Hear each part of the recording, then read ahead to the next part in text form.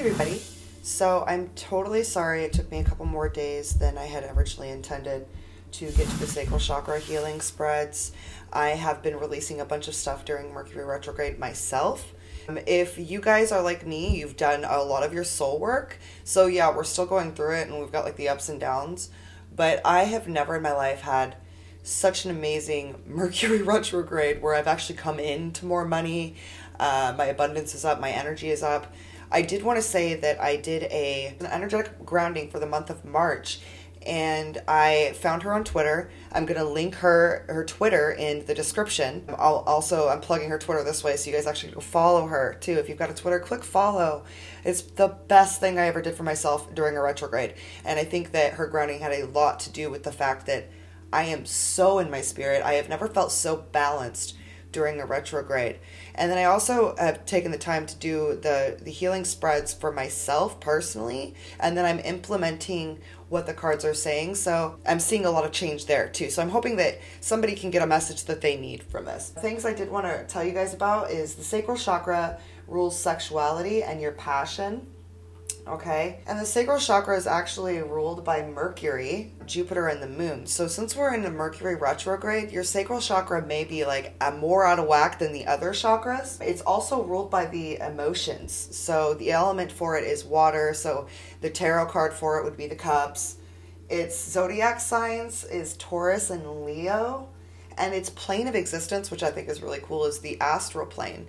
So I feel like I'm extra balanced right now because I've been astral projecting and all kinds of fun stuff, and I'm waking up very at peace. And it's just the energy we're moving into. If you're doing the soul work, it's. it's so amazing. It's just that's all I can say it's just a like a breath of just like ah, you know. So also I wanted to say there are certain stones you can keep around you for your sacral chakra. Uh, carnelian, coral, and one of my favorites is amber. So I just wanted to tell you guys that. Um, I will put the uh, time for the each reading to be started for each sign in the description, and I'm always going to do that for you guys. So I know personally, I don't, I'm, I, I can't really sit still. I just want to hear the reading. so I get it. I totally get it, and I'll put those time descriptions in for you. And yeah, I hope that whoever listens to this gets whatever it is that they need. Um, if you do find that your chakra is out of balance, you can do color therapy. Like color therapy is really, really great for uh, balancing your chakra. So orange is your sacral chakra. So eating anything orange foods, oranges, carrots, that type of thing, or wearing orange. And then I I believe it's 322 um, HC frequency for your uh, sacral chakra. And I've actually got sacral chakra music healing right now playing and let me just make sure that it's either 322 or 320 but you can also type in just sacral chakra into uh, YouTube. So all right let's get started. I love you guys. Namaste. Hey Aries, don't don't mind Cheeky's over here, just gnawing on her bone. It's like she just discovered it. She's had that bone for so long. Okay, so today we're gonna do the balancing soccer shits. Excuse me, you guys a little tongue tied. I'm feeling goofy. All right, balancing your sacral chakra spread. Yes, my guides, my galactic guardians, my angels, my archangels, and my ancestors, please come through and help me to give the best message to Aries, the one that's going to serve their highest good. Thank you, thank you, thank you.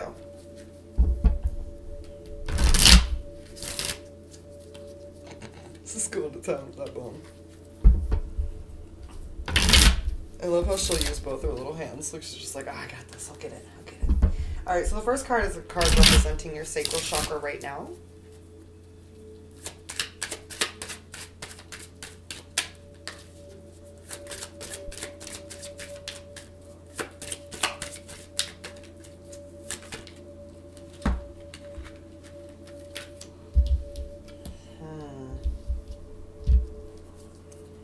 Glass half full, huh, Aries?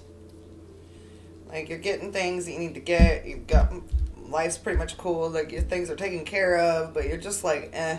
Like it's just another day. Like literally just another day. Like another day that ends in Y. I'm over it. There's nothing happening that's new. Not feeling very excited, feeling very understimulated. I'm getting understimulation hugely. Can you not die, please? This is why mommy's gonna take these from you. Get that piece. okay, so uh, sorry about that. How, excuse me, how can Aries better channel this creative energy so they're not feeling so understimulated? Follow your destiny. Oh, I get it. Okay, yeah. So about seven and a half months ago, I came into tarot and I, I knew that there was, I had an affinity for it. I knew that this was what I was supposed to do. Still choking on this. I'm to go ahead and take that from her so that she's not choking anymore. Sorry, guys. Um, anyways, it was about seven and a half months ago that I was just like, wow, this is. I I was I'm my normal job. I'm in the adult industry, um, not mainstream stuff. Don't go crazy, guys. But anyways, uh, I was in the industry and I was working very hard and I was working from home and every day doing the same stuff and I was just like there's got to be more to life. Like I know that I'm not waking up every day to fucking work and go to sleep. Like this is not what my life is about. I'm not happy.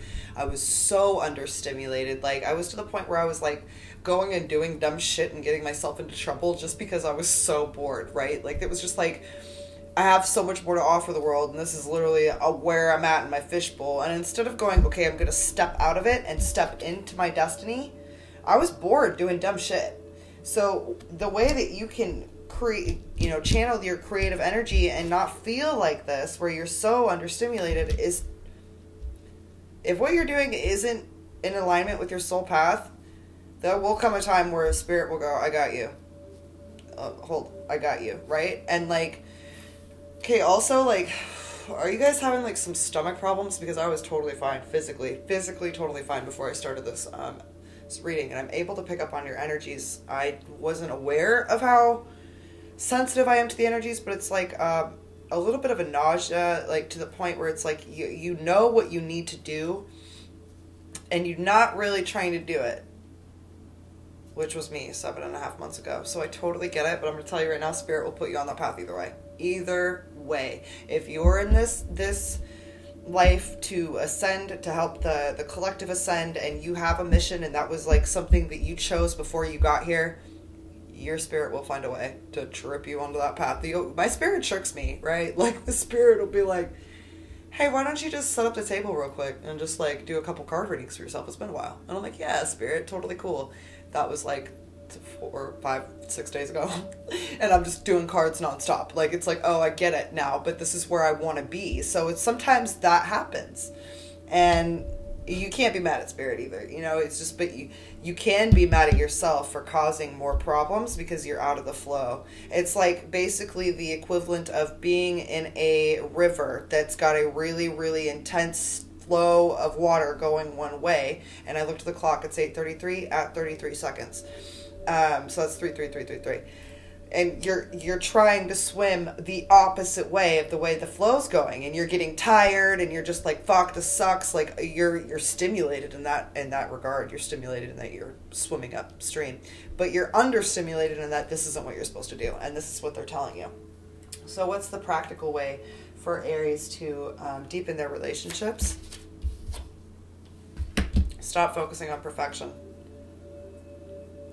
and stop projecting what you think pro- yeah that's what it is. Stop projecting what you think perfection is onto other people. You're understimulated because you're projecting what you should be doing onto other people. Aries. Bad bad aries you fiery little shit. No I, am i love you guys. I really do. Uh, every single one of the signs in the world that can deal with me are aries. My minis in aries but yeah, you guys cannot. You guys, okay, okay, okay. So there's. Hmm, are you. Okay, you're not doing what you're supposed to be doing because you're projecting out to the world what you think other people want you to do. Stop that, Aries. Stop that right the fuck now. Stop it. That's not okay. I don't condone that. Do you hear me? I don't. No makeup on my face. I don't condone this, Aries. okay? Yeah, blurred lines, blurred lines. Okay, some shit's going on. You're blurry, you're blurry. You're having a hard time focusing on what it is that you're supposed to do versus what you're actually doing. You're projecting what others want you to do out. And it's it's like and you're giving of yourself. You're giving. Do you see that? She's pulling her fruit off of her tree and giving it away. You're projecting onto others or onto the world what you think you should be doing. You gotta go, let go this. The best way to deepen your relationships to a level where it isn't shallow, you have got to stop this. You have to. Like, there's no like way around it. Um, this is coming in so strong for you. And, and this feeling of nausea and not feeling like you're being true to yourself and feeling like you're cheating yourself is going to stop the minute you stop doing this. So, what do you guys say? Sorry, there's a shirt here. That's, here we go. What do you guys suggest is the best way for Aries to balance the chakra, please? Yeah. You gotta get out of impartiality. You gotta stop weighing the options of what other people want. Look at that. Who the fuck wants to carry paint cans?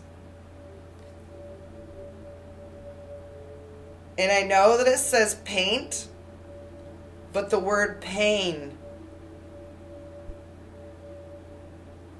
right here, the word pain. Okay? Like it's causing you physical pain at this point. If you have any ailments with your body, I bet you that this is this is causing you to be sick physically, Aries. Cuz you're not a sign. Listen, Aries are I always I always describe Sphinx, the Sphinx kitties. I think that's what they're called, little Sphinx kitties. They're like uh that they come from I don't know where they come from. Honestly, I think they originate in Egypt. I'm not really quite sure where you would. I, I remember looking for one, and there was a breeder in like London, and there was like one or two of them. So they're very rare cats.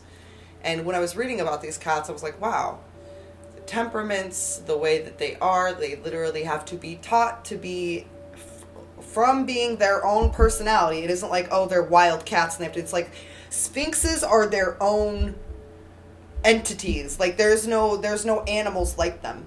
And so they have to be taught to go into the world around humans and I just remember reading about all of the character traits with them, and I was just like, "Wow, that's that reminds me so much of an Aries." So if you guys are curious, check out the Sphinx cats because they're really fucking cool cats. They really are. They're awesome cats. If I didn't my little Chiquita banana, we'd be messing with the Sphinx kitty. okay, so what's the result of them balancing this chakra? Perseverance. Look at this. Your guides. You coming into who you are, your guides are going to be there to catch you. Okay? Sometimes it feels like we're falling into a fucking abyss. But that abyss, that, that below us, is the love. The love of our guides catching us. And it sounds so cheesy but honestly, I love that this is perseverance and it's orange. And look at the butterfly wings being shed. Look at, no, those aren't yours anymore. Okay? Certain things serve us for so long. And then they don't. And then you got to shed those. And then you got to become who you are, your own person. That's beautiful, Aries. You can do this. You just got to stop you got to stop speaking other people's truths and start speaking your own truth. All right, what is the affirmation for Aries, please?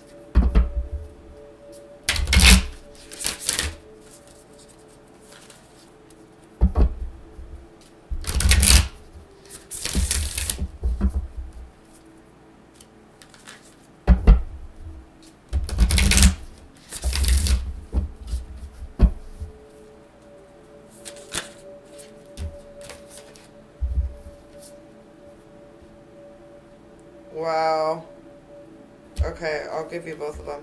But wow on the second one. The moment I realign with love, clear direction is presented to me. Okay? And this one, I surrender to a power greater than me. Wow, Aries. Wow. And there's an emphasis on the butterfly. I surrender to a power greater than me.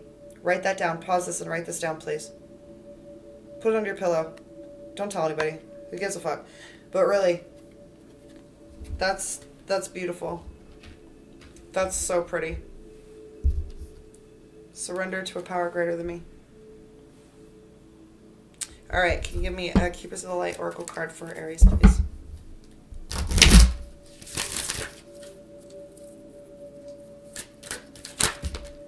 All right, that was quick. Lady Venus.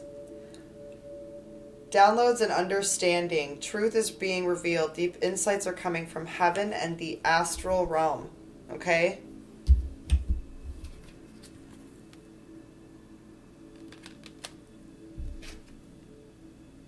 They're there for you. You just have to stop letting others tell you who you are and start being your own person, Aries. All right. I love you guys. See you soon. Namaste. Bye bye.